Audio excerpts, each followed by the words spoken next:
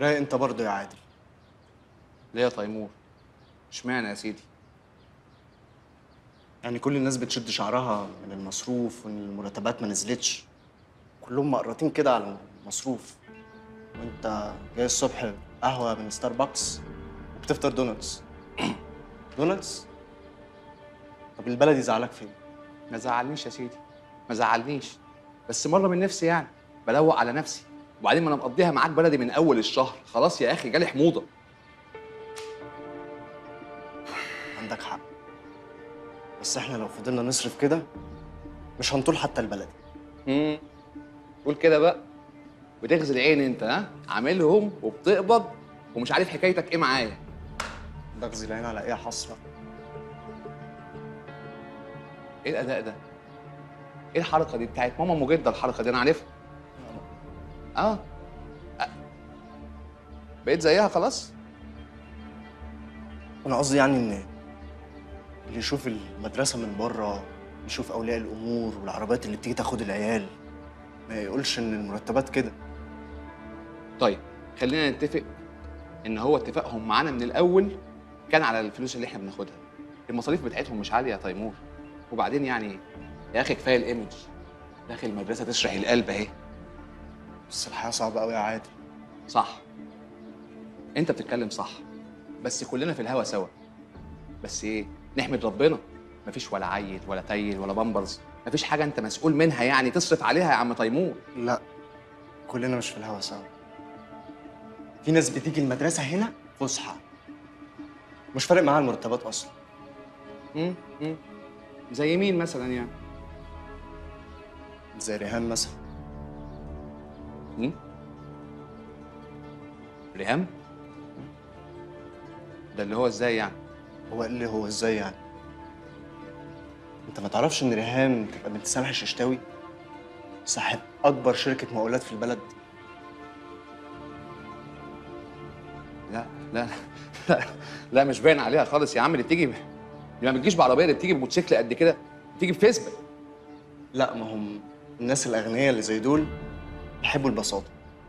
يعني تلاقيهم بينزلوا على قهاوي وسط البلد أكلتهم المفضلة كبدة ومخ. يعني اللي إحنا بنعمله بالغصب هما بيعملوه لمزاجهم. لا لا لا. لا الكلام ده لو صح يعني كانت اشتغلت في أهم مدرسة في مصر أو كانت م- اشتغلت مع أبوها حتى. لا ما هو النوع ده من الناس بيحبوا ياخدوا الموضوع خطوة خطوة. وتلاقي أصلا مصروفها عشر أضعاف المرتب. 10 أضعاف المرتب ريهام فين؟ ريهام فين؟ يا لهوي ده سفت لها رحمة يا بنتي حبيبي ياسف كنت بظلمك طلعت عينك على ما نامت ولا إيه؟ للأسف آه بس البنت لذيذة مش كده؟ آه لذيذة باباها كمان لذيذ على فكرة. بس أنا استغربت قوي لما لقيتك عرضتي عليه يعني وبقلب جامد إن البنت تفضل معاكي لحد ما يسافر ويرجع. يعني معرفتي بيكي انت خلقك ضيق وملكيش في الأطفال.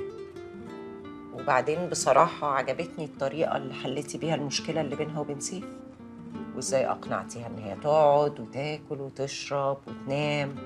تفضل لحد ما باباها يرجع من السفر.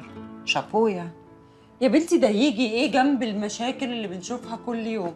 الدودي دودي ها؟ بتحل الخلافات ما بين العيال الصغيرة. تخيلي ده غير بقى خناقات المدرسين ولخبطة ال schedule وكل ده بقى كوم ومشاكل المدارس المنافسة كوم تاني خالص. ولازم مع كل ده أبقى مركزة جدا إن شكل المدرسة يفضل كويس. طب وأنتي مش خايفة تزهقي؟ أو تيجي في لحظة تحسي إن المشاكل أكبر من إنك تحليها؟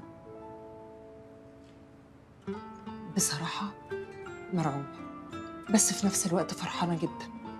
المشاكل اللي إحنا شفناها من أول ما المدرسة فتحت تخلي أي حد يستسلم وما يقدرش يكمل.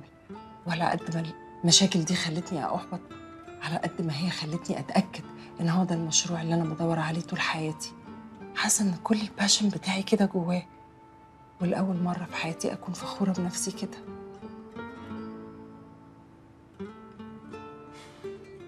أنا كمان فخورة بيكي.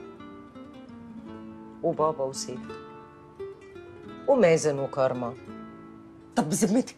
أنا هبقى عايزة إيه من الدنيا دلوقتي ها؟ تخيلي بقى رجاء بذات نفسها بتقول لي أنا فخورة بيكي الله أكبر يا جماعة! الله أكبر! بس بقى ما تتغريش ما تسوقيش فيها الله.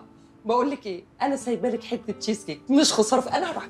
تشيز كيك انت مش كنت هتعملي بانكيك أنا هروح أجيبها لك أي حاجة أي حاجة مش مهم مش مهم.